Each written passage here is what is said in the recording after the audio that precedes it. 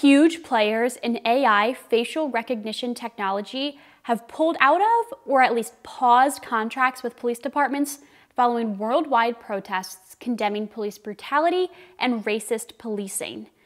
How will this affect the technology going forward? Stick around.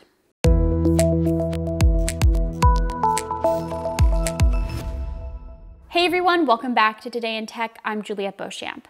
Amazon, IBM, and Microsoft have all announced plans to take a step back from the AI facial recognition business. IBM is exiting the business altogether, saying in a letter to Congress it no longer offers its general purpose facial recognition software. And it also says that it opposes the use of AI for surveillance, racial profiling, and other violations of privacy.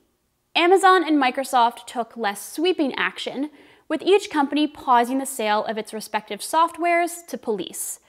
Amazon is putting a one year hold on the sale of its Rekognition software to police, while Microsoft is waiting on legislative guidance before selling its software to law enforcement. There's a whole slew of reasons for this. First, tech companies are under pressure to take decisive action and respond to the killings of George Floyd and Breonna Taylor by police officers. Second, facial Rekognition software has long had a racial bias problem. Last year, the ACLU ran a test using Amazon's recognition software. Of the software's false matches, 40% were people of color.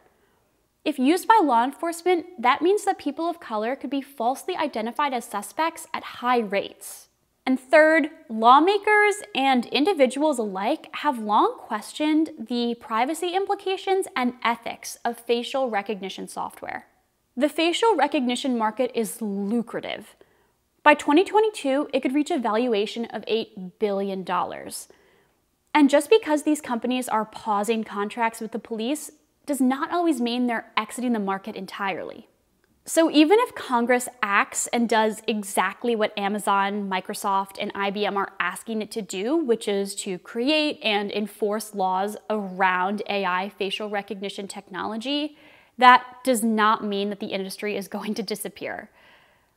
And it also seems like there's plenty of other opportunities for tech companies to continue to collaborate with police departments. Take IBM, for example. It appears that they're continuing to offer law enforcement departments around the country its AI predictive policing tools.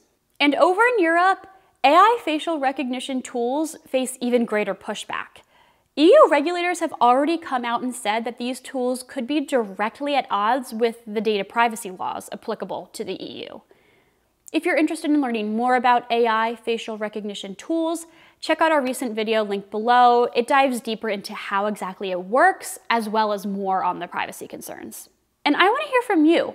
Do you think the use of AI facial recognition tools by police is justified? What kind of laws would you like to see in place before companies start to offer these tools again? Let me know in the comments below. Thanks so much for watching this episode of Today in Tech. If you liked this video, be sure to give it a thumbs up and subscribe to our channel and hit the notification bell in the corner so you can be alerted every time that we post a new video. See you next time.